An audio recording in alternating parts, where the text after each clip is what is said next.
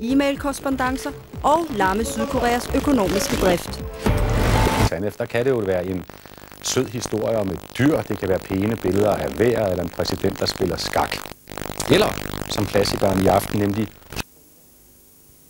vælter. I årtier har de store containerkraner her på Aarhus Havn været et varetegn, varetegn for havnen, men nu skal der bygges virksomheder. Grunden er, at det er en ekstra god afmelding i aften, kan jeg sige. Det er, at der ikke var en, men to kraner, og dermed to eksplosioner.